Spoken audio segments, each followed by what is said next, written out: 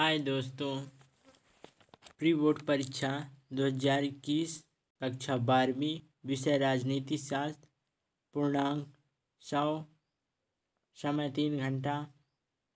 निर्देश दिए गए हैं दोस्तों, उसे आप पढ़ लीजिए।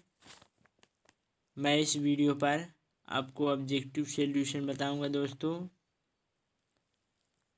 शीत युद्ध का चरम बिंदु था तो क्यूबा मिसाइल संकट। दूसरा मध्य पूर्ण में संकट। तीसरा, चीन। दक्षिण एशिया के बारे में निम्न में से कौन सा कथन गलत है? तो दक्षिण एशिया में सिर्फ़ एक तरह की राजनीतिक प्रणाली चलती थी। पचमा, विश्व व्यापार संगठन निम्नलिखित में से किस संगठन का उत्तराधिकारी है? तो general agreement on trade and tribe. तो रिक्त स्थानों की पूर्ति कीजिए। तो संयुक्त राष्ट्र संघ की सुरक्षा परिषद में पाँच स्थायी सदस्य हैं और दस अस्थायी सदस्य हैं। तो दूसरा, वर्लिन की दीवार का गिरना शीत युद्ध का का प्रतीक है, था। तो इसमें दोस्तों, वर्लिन की दीवार का गिरना शीत युद्ध के अंत का प्रतीक था। फिर तीसरा, सोवियत संघ द्वारा बनाए गए सैन्य संगठन, वर्षा पैक्ट। इसका होगा दोस्तों, वर्षा पैक्ट।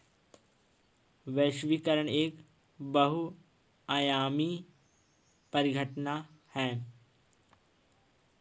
पचमा, गठबंधन के सदस्य देशों को अपने भू क्षेत्र में महाशक्तियों के सैन्य अड्डों के लिए स्थान देना ज़रूरी था। सत्य असत्य लिखिए दोस्तों। शीत युद्ध महाशक्तियों के बीच विचारधाराओं को लेकर एक युद्ध था, सत्य है। दूसरा, उन्नीस सौ तिरासी के बाद उग्र तमिल संगठन लिबरेशन टाइगर्स ऑफ़ तमिल इलम लिटेड श्रीलंका सेना के साथ शास्त्र संघर्ष कर रहा था, सत्य है। तीसरा, सुरक्षा एवं शांति से जुड़े सभी मसलों का निपटाना सुरक्षा परिषद में होता है, सत्य है।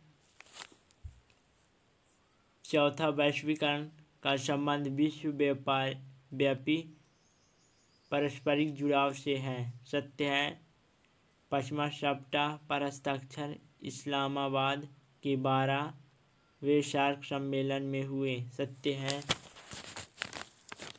दोस्तों इसमें सभी सत्य हैं। और जो भी ऑब्जेक्टिव सॉल्यूशन बताया जा रहा है दोस्तों, वह नोटबुक के माध्यम से एवं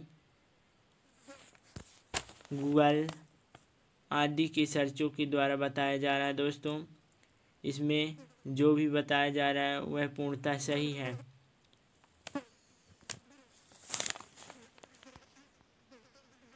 सही जोड़ी बनाएँ। तो भारत विभाजन द्विराष्ट्र सिद्धांत।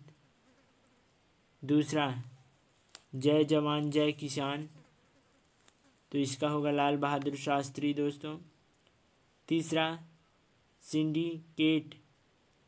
तो डी नंबर, कांग्रेस के भीतर ताकतवर और प्रभावशाली नेताओं का एक समूह।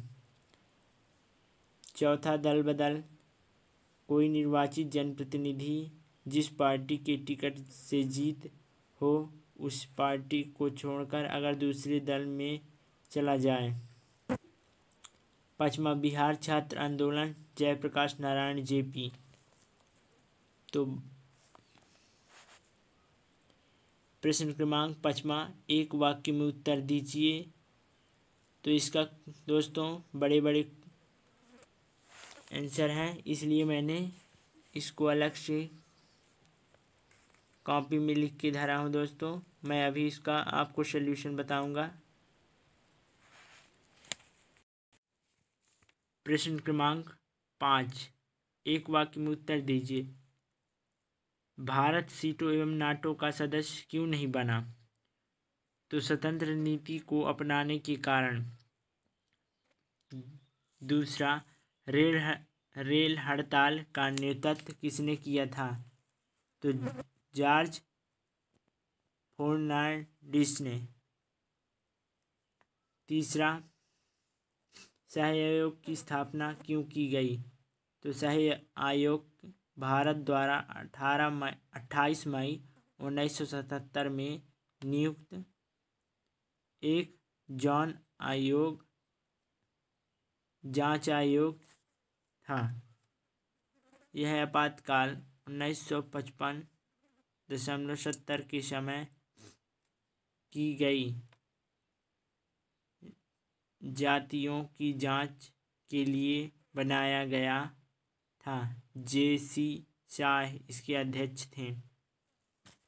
चौथा, सॉरी दोस्तों, यदि बोलने में कहीं पास मिस्टेक हो तो चौथा मंडला आयोग की मुख्य सिफारिशें बिछड़े वर्ग की जातियों के लिए आयोग ने सत्ताईस प्रतिशत स्थान आरक्षित करने की सिफारिश की थी। तो पचवा, जब चुनाव में किसी एक दल को बहुत प्राप्त, बहुमत प्राप्त नहीं होता है तो दो दो से आशिक दल मिलकर सरकार बनाते हैं। इस प्रकार की सरकार को गठबंधन सरकार कहते हैं। पचमा, दोस्तों, फिर से मैं बता दे रहा हूँ आपको, जब चुनाव में किसी एक दल को बहुमत प्राप्त नहीं होता है तो दो या दो से अधिक दल मिलकर सरकार बनाते हैं।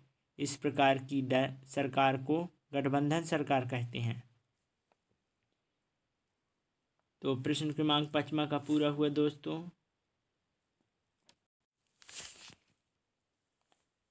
प्रश्न क्रमांक छठवां, नए राष्ट्र की कौन कौन सी चुनौती थी? दोस्तों, यदि आप कमेंट करते हैं तो मैं इसका सॉल्यूशन जल्द से बनाने, बनाऊँगा दोस्तों। सो प्लीज़ कमेंट करिए कि आपको इसका भी सॉल्यूशन चाहिए। तो प्रश्न चौदह। इसे आप नोट कर लीजिए दोस्तों।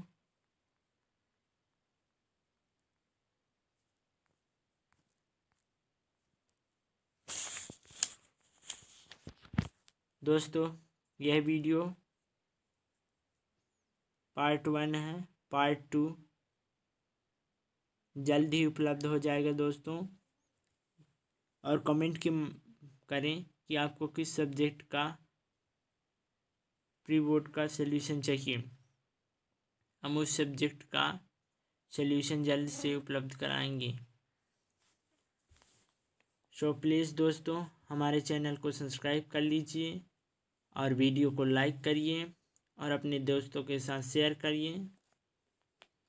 और हमें कमेंट करना ना भूलें दोस्तों। और दोस्तों, सभी कक्षा बारहवीं के सभी विषयों का प्रश्न बैंक सोल्यूशन सहित हमारे चैनल पर उपलब्ध हैं। आप जाकर हमारे चैनल के प्लेलिस्ट पर देख सकते हैं। सो थैंक्स वीडियो देखने के लिए मिलते हैं अगले वीडियो पर। जय हिंद।